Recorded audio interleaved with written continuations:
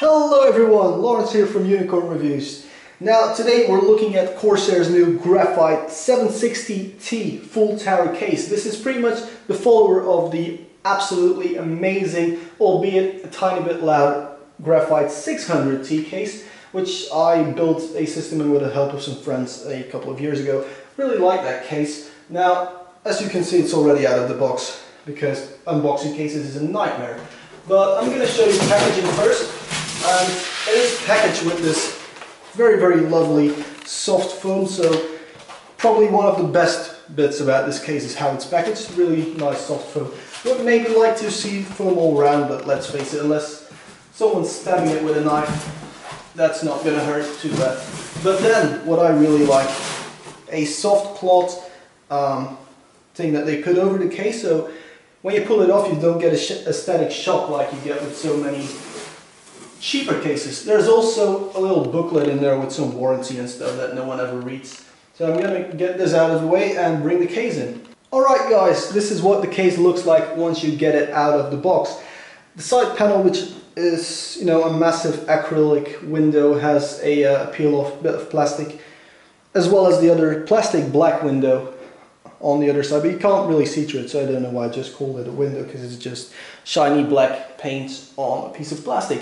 There's also a piece of paper tape holding the fronting in place, but let's start off with a really maybe slightly too detailed look around the case. I'm going to start off with my favorite feature of this case, the bottom. Now, a lot of people will know that I am quite, quite fond of a lovely bottom. And the thing that I like most about this are the, uh, like the really nicely angled feet on this case. Very lovely, sharp, angled feet almost giving me a foot fetish, I must say. And well, you see some screws here. Now you get two hard drive brackets, so they unscrew from here. They do use screws instead of rivets, so quite easy, albeit not as easy as other um, hard drive cages to remove. And then you can stack them up. But let's go to the front first. Now, can I zoom out? I cannot zoom out, so let's just put the case a bit further backwards. Always professional, of course, here at Unicorn Reviews. Now, let's undo the plastic tape. Peels right off, and what it protects is this front, front uh, grille. Now, it's not as awesome as with the Fractal R4. Now, as, I, as you saw with the thing falling out, there aren't any hinges on there, it's just slots that it slots into. And let's just put this one on the side, shall we? Oh, by the way, it has a very, very open dust filter thing in there, so it's very unlikely to filter most dust. Then we get dual AF140L fans. So these are a red LED fan. We'll show you that later when we put power on there. Maybe something cool because it looks OEM-ish is the, uh, the optical bays. So this one is one of the those that flips open, but you only get one of them, not three, and you also don't get another blank one to put here. But do we really care? I don't really think so, because, well, if you buy a case that has optical slots, chances are you're going to use one. Or you're just going to put a massive reservoir in there. Now, you can put two 80 millimeter uh, radiators in there, as well as 120 millimeter, well, yeah, 120, 140, 240 and 280 radiators will fit. And thickness wise, it doesn't really matter, but we're going to go into the inside of the case later because it's time for the top. Now, what we see here is a power button, quite a big power button. Next to it is a reset button, which also doubles as a hard drive activity light, which makes it look as if you're reset button is just begging you to reset the computer at any time. Next to it, two USB 3s, two USB 2s, a fan controller, which I'm going to go on a little rant about later. And then we have, of course, audio in and out, audio in, audio out. Now, another thing is this magnetic top. Also, cool thing, this case will actually stand on its front. This is the only case I know that does that, but no venting through here, it just has a few magnets on there. And what it does is it covers up the really cheap looking top, which you can just completely see through. Now I complained on the 200R by Corsair that they did this. However, with this case it's, it's slightly stronger and you can put just about any radiator in there that has three fans on it.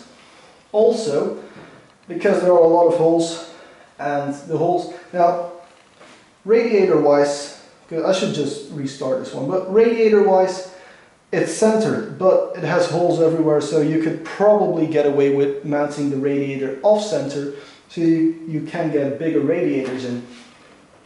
So I started off with my most favorite part of the case, the bottom. I'm now going to show you my least favorite part of the case, of the outside of the case, because I'm not too happy with this case at all, the top. Now, it has some room here for radiators, but only all-in-one liquid coolers because let's face it, if you're going to go with a custom loop, chances are you might just put a absolutely massive radiator like a 50 or an 80 mil and then you can't go push-pull anymore. Um, then there's the 140 millimeter pre-installed AF fan. Now this one doesn't have LEDs, which I actually think is a good thing because I hate lights in a case. If I want light, I'll just buy a light. But yeah, other people might have different opinions. But then, moving to a bit lower, there's nine. So get this nine PCI expansion card slots. Now, they don't do XL ATX motherboards anymore. They did it a little bit when Sandy just came out, but they stopped doing it afterwards because it's just completely pointless. So why this one has so much room in there, I have no idea. If they were going to make the case this high, I would have preferred 8 slots and then a tiny bit more room in the top for radiators. But then, the part that really pisses me off in a 180 euro case, get that one, so that's $200 I guess. Metal grommets for external water cooling. Now, I know you shouldn't be doing external water cooling in the first place, but if you're stupid enough to do it, you don't get rubber grommets with it. There is, however, a Kensington lock there, and for some reason this is all blank metal instead of having it vented like every other case ever. So I don't like the back of the case at all. However, nice room here for a power supply. You can install it both ways because there is a dust filter, albeit slightly narrow, this dust filter, but there is a dust filter. It goes out easily and it's very easy to relocate or just put it in when you cleaned it off. Moving to the side, there's this massive... I absolutely hate that noise. I don't know why they can't do it, that it doesn't make that noise. But yeah, this is uh, this is just the side. It's a smoked out, so you guys... Yeah, from the viewfinder you can't actually see what's inside the case. Um, but in real life you can see through it. It is very reflective though. But on the side here we have this handle and it just completely hinges open the case. You can then lift the panel up off of the hinges and so as you can see it is pretty see-through but yeah. So let's put this one aside here.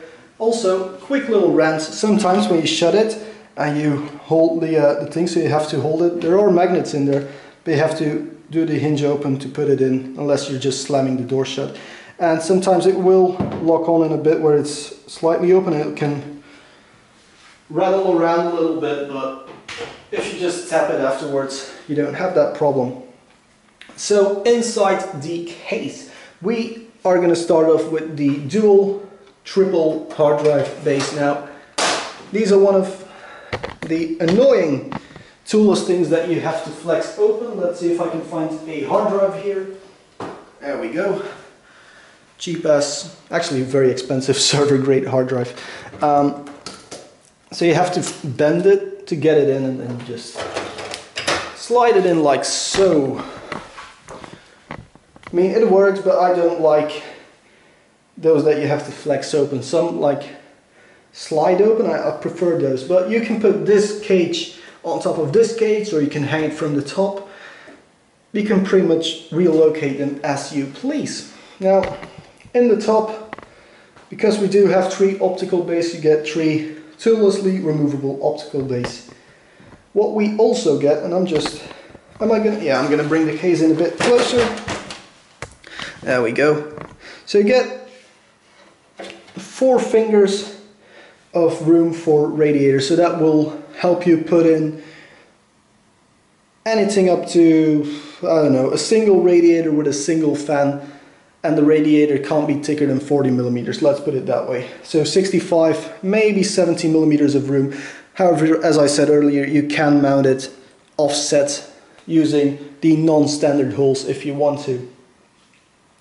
We have a very, very large CPU cutout and some more room here to route cables through from your um, from your like the rear fan for example or of course the radiator.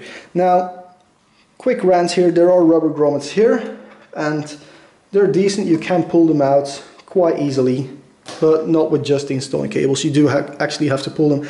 But there are no rubber grommets. Where's my finger? Here's my finger no grommets here kind of sucks doesn't it now moving down we get three of those and then we have two more vertical grommets here and this is where another quick rant starts. Because your ATX board is going to be 2 centimeters above the top of the power supply.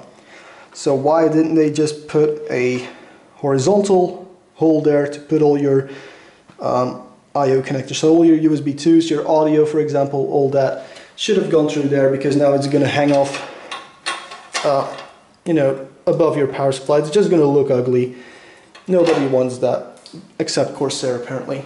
So talking about front I.O., we have of course our USB 2 connector, our USB 3 connector, as well as SATA power for our fan controller, with built-in fan controller of course. We have another USB. Did I show this one already? Okay, I was wrong. Okay, so this is audio, long audio cable and a shorter USB cable, SATAs and then front connectors, as well as four uh, fan, fan mounts. Now there are already three fans in there so you'll have room for one additional fan which you could of course put here in the bottom if you remove this cage and reposition it here or hang it from the top now other than that it's a pretty simple design though now one thing I am going to say this is no problem for example with an ATX board because then the ATX board clears this thing if you are going to put an XL ATX uh, motherboard in there you will have to reposition this guy because it will be hitting on the second hard drive cage.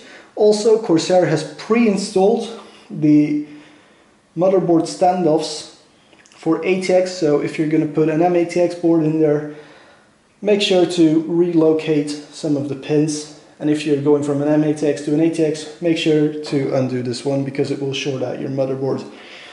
Cool feature, as most Corsair cases have actually, is the center ATX um, standoff has a pin that sticks out so you slide your motherboard and click it in and go over there and then the motherboard is fixed so you don't have to push it with one hand while you're trying to get a screw in with the other. Now moving on to the other side of the case, it's actually accessory box. Everybody loves accessory boxes except Corsair because I already did this part of course. And this is yeah this is poor. That's all you get accessory wise none of the bags are labeled. No additional motherboard standoffs just a few fan screws. Um, also two uh, four longer um, screws for fans or for radiators or whatever but seriously Corsair 180 euro case should come with quite a bit more accessories now, moving on to, I don't know if this is left or the right, depends on how you look at it, doesn't it? Lovely feet though. And again, we have this plastic peel-off thingy. Now, really have to do this, so very shiny. I'm not going to pull it off all the way because I hate the noise it makes. But, as you can see maybe, this is just a black thing. Also, autofocus does not like it when you move your camera around. But again, lift it up over the pins. Now, reinstalling it is a bit tricky. Can I do it with one hand? Nope, I cannot really. Oh, I did. Cool. So it is a bit tricky to reinstall it, but it's not the hardest thing in the world to do. So moving on to the back, one of the most important things I think with cases is how much room there is between the motherboard and the side panel, especially with a side panel that closes by a hinge because you can't just sit on it and shove it and screw it in real tight and hope to never open it again. But with this case, get one and a half fingers of room, which is around three centimeters. It's an awful lot of room. And, you know, of course it's slightly less here at the top because this is like a recessed bit. But yeah, why are there no grommets in there? I don't know. Pretty cool thing. So you do have a bunch of zip tie or twist tie mounts. So you have here, here, here, there, there, some here, and then some more there. A lot of them. Now, there's also a hole here. I hate the lag on my viewfinder, but yeah, so some hole here. Again, not grommeted. But then there is the worst invention in the history of inventions. The SSD mounting system. So what you can do, I'm going to go and get an SSD. There we go, cheap ass SSD from back in the old days.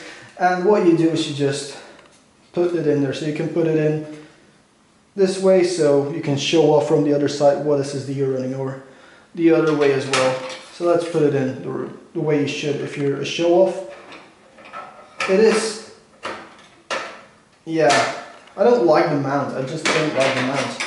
You can take these off of course and I suggest you do and just, I don't know, double tape, double-sided tape your these to the back, for example.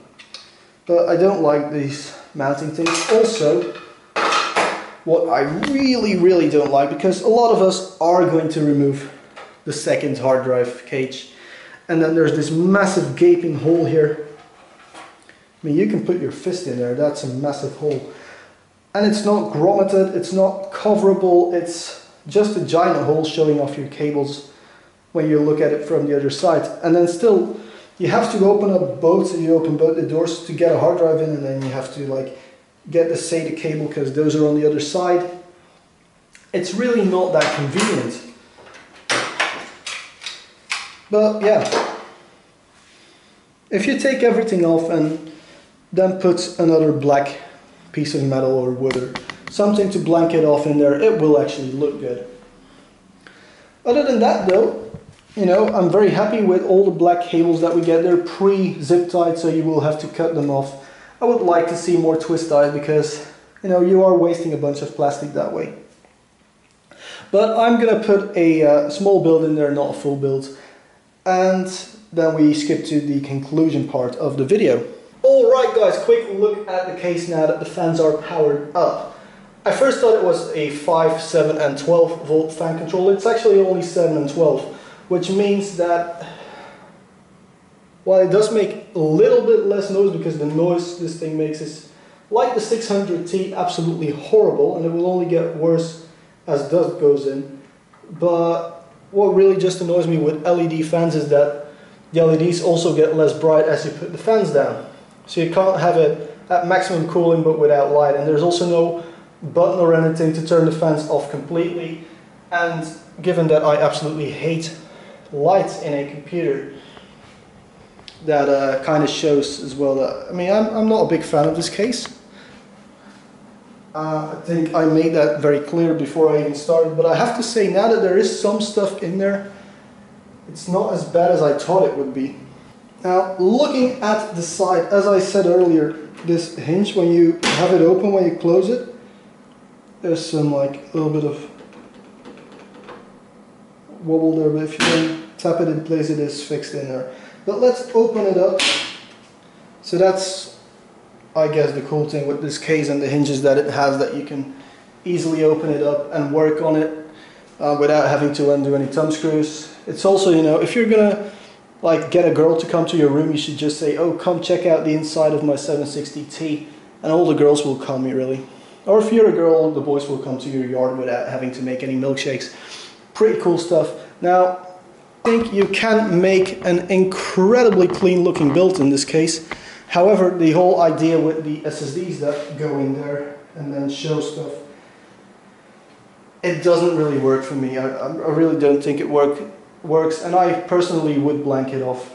And then there's the other thing, like these cables I said I was afraid for because you don't have any grommets here. Now the reason why it looks stupid is first of all because I didn't put like an all-in-one liquid cooler in there. If you do put that in then at least the top is covered. But then you still have a few centimeters of wasted room here in the bottom. Now these cables therefore are also just hanging off there. Now the you could put them through this, this grommet right here and you can make it look slightly decent but then you're still stuck with the HD audio cable there. And yeah, I just don't like it. I really don't like it when a motherboard is overpowered by the size of the case. I mean, you can put another ATX motherboard right here next to it. And that's without exaggerating. And I know a lot of people will even put one of the narrower uh, ASRock boards in there and it will look even dumber. Now, good thing though is that you have ample room for graphics cards because this case is 56.4 centimeters long and I reckon you can probably get a 55 centimeter long graphics card in there. But they don't do those yet. So yeah, compatibility with everything. I mean, you can put the biggest air coolers in there, biggest graphics cards, biggest motherboards, and it won't be a problem. The thing is, unless you put the absolute most ridiculous biggest stuff ever in there, it will look overpowered by, the, by just the sheer size of the case itself. And I, I just don't like the way it looks. Now, a lot of people will like the way this case looks, and you know, beauty is in the eye of the beholder, they say, so I think it's just a really ugly case. And with that in mind, I'm not going to give it any award at all. I'm very sorry to Corsair for that. But it's just so ugly and so overpriced. Now, if this case was 50 euros cheaper, it would get bronze or silver. But yeah, it's, it's just not my thing. Anyway, if this was your thing and you like the video, please go ahead and press the like button. If you dislike the video, press the dislike button or press no button at all. Leave a comment saying on what you think about this. If you like the video, you can even share it to all your friends using the share button right below the video. And yeah, don't forget to subscribe to Unicorn Reviews for more reviews, as the channel name would suggest. Thank you all very much for watching.